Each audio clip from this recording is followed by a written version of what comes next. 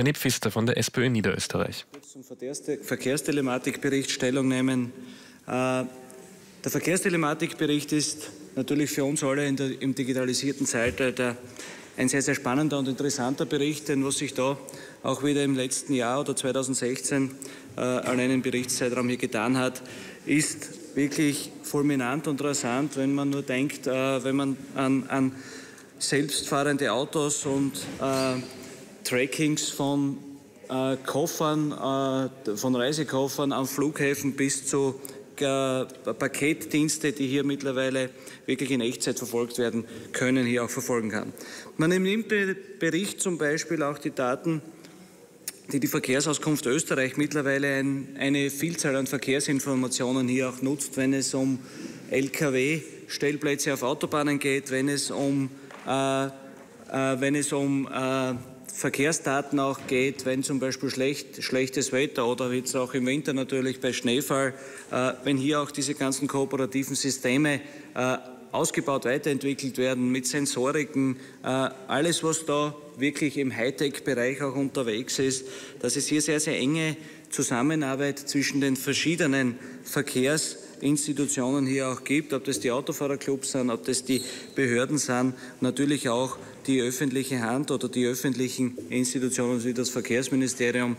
äh, die hier ganz, ganz eng und intensiv zusammenarbeiten. Im Mittelpunkt stehen bei intelligenten Systemen natürlich auch ein umfassendes Service, das sowohl auch den Bürgerinnen und Bürgern als auch der österreichischen Wirtschaft und den verschiedenen Unternehmungen, die hier in Österreich durchfahren oder auch als Zielland hier gewählt sind, diese Verkehrssysteme heute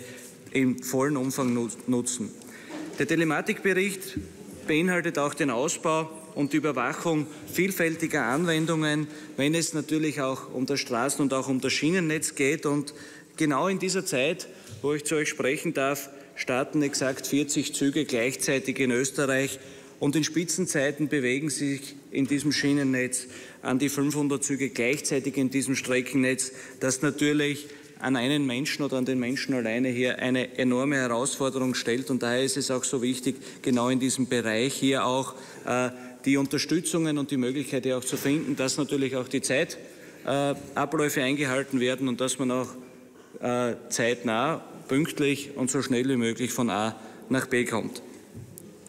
Dieser Bericht umfasst auch äh, sehr, sehr ausführlich sich mit Weganalysen und Trackings, die wir tagtäglich eigentlich gewohnt sind, sobald wir unser Handy eingeschaltet haben oder eingesteckt haben, wissen wir am Abend ganz genau, wie viele Schritte wir zurückgelegt haben, welche Wege wir abgelegt haben.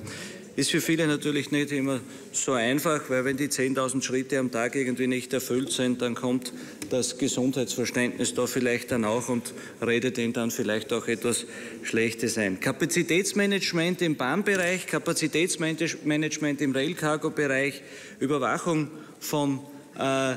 Güterwegen, Überwachung von Personen, Personenwagen äh, im Eisenbahnbereich, das alles ist keine Zukunftsmusik, das passiert bereits, das gibt es. Und abschließend, Herr Minister, das internationale Förderprogramm, das 2016 hier auch gestartet wurde, zum Beispiel Horizon 2020,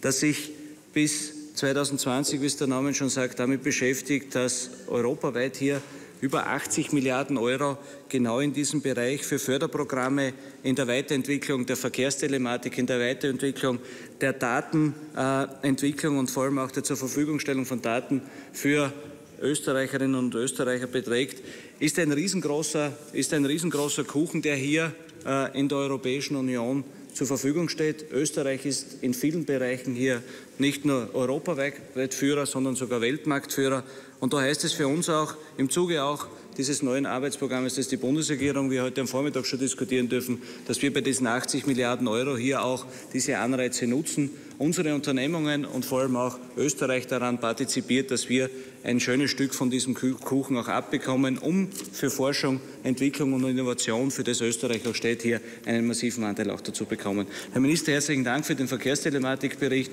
und weiterhin so erfolgreiche Arbeit für unser Österreich, für den Verkehr und für den, vor allem auch für den öffentlichen Verkehr. 2016 sei ein internationales Förderprogramm gestartet worden, in dem die EU 80 Milliarden Euro für Verkehrstelematik zur Verfügung gestellt habe, sagt René Pfister von der SPÖ Niederösterreich. Österreich solle nun sehen, dass davon ein großes Stück an Österreich kommt.